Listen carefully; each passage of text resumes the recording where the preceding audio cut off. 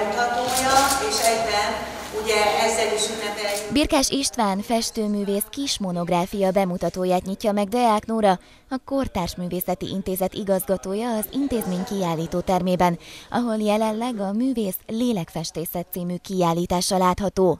Ez szorosan összefügg a Birkás István életművét taglaló és összefoglaló könyvvel. Ez egy monografikus munka. A könyv nem katalógus, hanem egy életpályát mutat be úgy, hogy megpróbál kibontani bizonyos életszakaszokat, műcsoportokat különít el.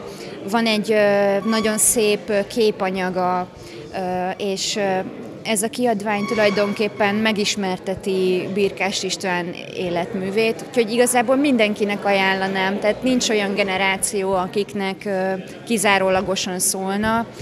A segítségével olyan ember is megismeri az ő művészetét, aki nem Dunaújvárosi például, és talál benne magában a tanulmányban olyan adalékokat, amik alapján kibontakozik, hogy milyen volt ennek a városnak a művészeti élete, hogyan alakult ugye a város építésének abban a szakaszában, amikor a főiskola félbehagyása után Birkás István visszatért.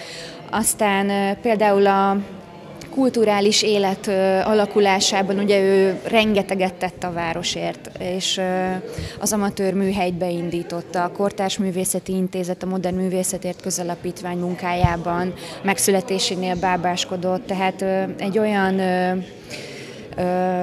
ember, egy olyan személyiség, aki rengeteget adott, egy szuggesztív, nagyon jó közösség volt körülötte, tehát egy izgalmas ember, akinek olyan kiállítása látható az intézetben, ami javarészt azt az anyagot mutatja meg, csak éppen a térben, ami a kiadványban is megtalálható. De nem teljes az egyezés, és ezért is izgalmas a kiadvány külön, meg nyilván a szöveg miatt, ami, ami Kertész László művészettörténésznek a munkája, és egy nagyon alapos kutatás ö, ö, eredménye, és ö, ö, olyan ö, friss szempontokat is tárgyal, amik miatt különösen izgalmas, azt gondolom.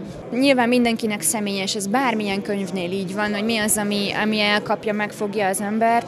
Egyrészt a Kertész László szövegének ez az atmoszféra teremtő igénye, hogy bizonyos korszakokat az életműből nagyon jó hangulattal elkap, a másik, ami egy nagy erénye a kiadványnak az, ahogyan válogatott a munkákból. Tehát egy nagyon erős anyagot mutat meg, amiből számomra különösen izgalmas az utolsó időszak. Tehát Birkás István épp a mai napon 70 éves, és nagyon érdekes megnézni, hogy mostanában vagy az utóbbi néhány évben mivel foglalkozott. És ezek nagyon izgalmas, eleven, vibráló, expresszív munkák ismét. Úgyhogy aki megnézi, hogy hogyan alakult az életmű a kezdetektől, az most egy ilyen nagyon energikus részhez, egy nagyon izgalmas befejezéshez ér, ami, ami csak egy kvázi befejezés, mert reméljük, hogy még nagyon sok termékeny év vár a művészre.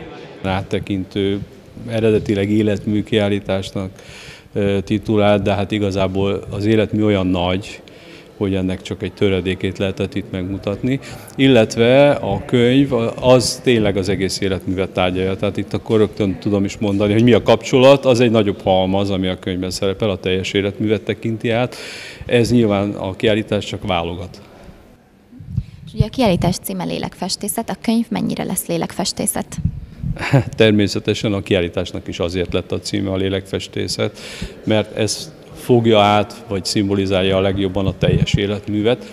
E, nyilván, mivel a könyv e, szövegében legalábbis, tehát a tanulmány, ami áttekinti az életművet, még inkább a teljességre törekszik, még inkább lélekfestészetnek nevezhető.